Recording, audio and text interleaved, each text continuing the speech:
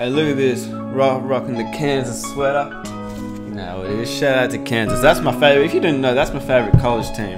Joel Embiid, though, I mean, that turned out. So shout out to Kansas represent anyway. Let's get into this. First things first, if you're new to the channel, hit that subscribe button. Yeah, I got I got a pillow for it, alright? You know, I had to. But anyway, this is the most exciting time for me of the year, and I, I'm guessing for a lot of you guys, but first of all, Dwyane Wade sad to see. Same with Dirk, but for me, Dwyane Wade, my favorite player of all time, and a Heat fan, like, I'm never gonna see him play again. That's crazy to me. Like, we're not gonna see Melo, probably. We're not gonna see Wade. We're not gonna see Dirk. We're not gonna see Iverson, Kobe, all these guys that, like, a lot of you might have grown up watching, depending on how old you are. And now Vince Carter's like the only one left from the 1990. Like, it's crazy. All right, but that's that. Can't help it. It happens. So now, once LeBron's gone, oh my goodness. Anyway, sorry, I'm getting off topic, but let's get into it. Playoff predictions, these are mine.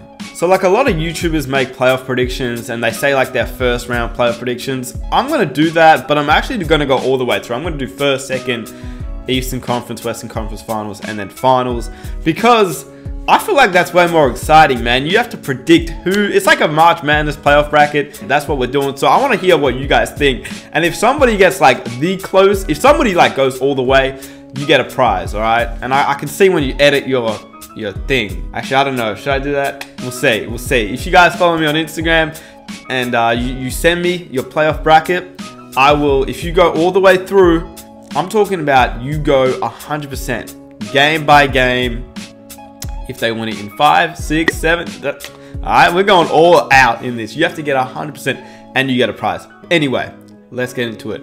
Western Conference, we'll start with that. Golden State versus the Clippers. This matchup is really good. I love this matchup because I think the Clippers are the most underrated team in terms of Nobody thought they were a playoff contender at the start of the year.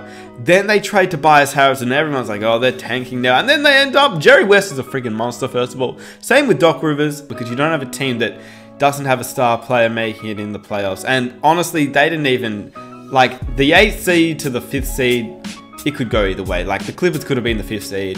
That's a very good season. But then again, Golden State. It's Golden State, man. You got Curry, Durant, Clay, Draymond, DeMarcus in the playoffs now. So I'm saying Golden State in five games.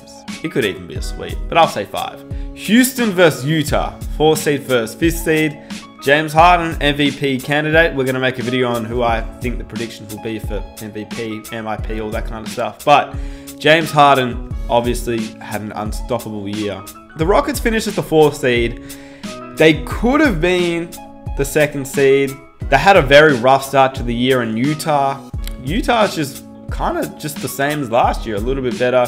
Donovan Mitchell, they still got Rudy Gobert. You know, I, I'm saying it's going to be a tight series, but I'm saying Houston in six games. Then again, we saw uh, last year Utah beat OKC, and you know Utah can whew, Utah can make some noise in the playoffs, but I'm saying Houston in six games. The third seed versus the sixth seed, Portland versus OKC. To me, Portland is a weird one because obviously that Nurkic injury, that kind of made a little bit of a dent in what the Portland Trailblazers were trying to do this season. But at the same time, getting Enes Kanter was a great pickup um, because he's just a solid center. He's not Nurkic, but he's, he's, he's okay. Like if you lose Nurkic, he's the guy that you could be like, yeah, bring him in. But he will just give you like 10 and 7 or 12 and 7, and that's all you can really ask for. But then, uh, OKC, man, this is an interesting team. You got Westbrook and Paul George. Paul George has played like an MVP for parts of this season. Westbrook is averaging triple double three straight years, but does that translate into wins? I'm saying, oh, oh Jesus, this is tough. Damon Westbrook, CJ. I'm saying OKC in seven games. I reckon we'll go seven, but OKC will get up on top.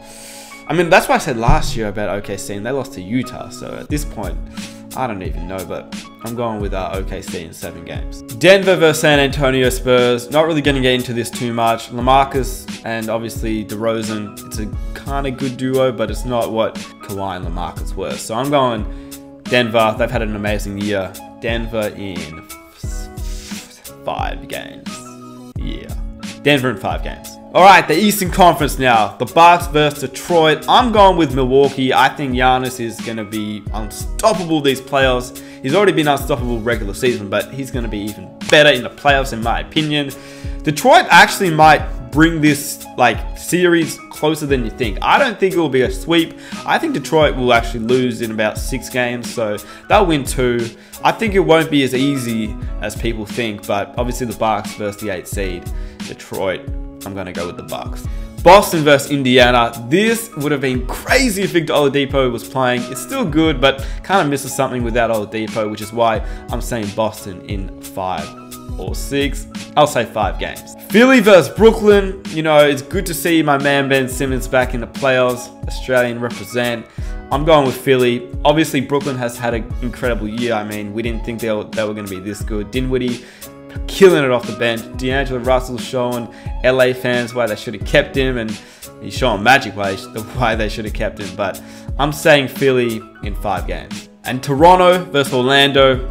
I don't think it's going to be a matchup here. I think Toronto will, will win this pretty easy. This will probably be the first sweep that I have.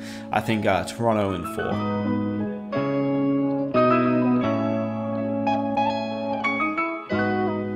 Alright, so now that means in the second round of the playoffs we got Golden State versus Houston, I believe. Did I say that? Yeah. Golden State versus Houston in the second round. But uh, I've still got Golden State. I think Golden State will probably win it in about six games. That leads to OKC versus Denver. Whew, that will be a great series as well. Obviously, every series is going to be great in the second round of the playoffs, but ah, this is going to be interesting. Who's going to defend Jokic? See, to me, the Nuggets are a team. That's a team that is there.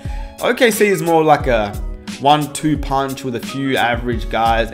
Steven Adams is not average, but you know they got just like a one-two punch of Westbrook and, and Paul George, and then they got a big man, kind of like what the Trailblazers have, in my opinion. But I'm gonna say that the Nuggets will win in six games against OKC. Then you've got the Bucks versus the Celtics in the Eastern Conference, and this is also one of the oh, I, this is gonna be a good series.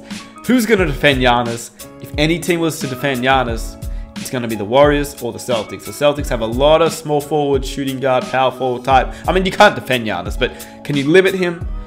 Hayward won't be the best option, but Tatum, Jaylen Brown, good matchup. So I'm still going to say the Bucks just because of how dominant they've been all season long. Um, but I'm going to say seven games. And that means Philly versus Toronto. This will be a seven game series. It could go either way. I'm going to say Philly. I just think if you got Kawhi Leonard and Jimmy Butler on each other, who's going to defend Tobias?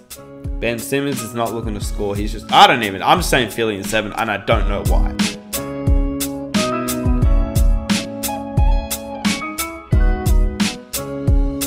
So in the Western Conference Finals, that leaves Golden State and Denver, who have been the two best teams in the West all year. To me, it's just easy. Golden State, they're going to win that um, in six games. And then, I'm going to say five games actually. Golden State in five games. And then in the East, we've got the Philadelphia 76ers. Don't know about that one actually.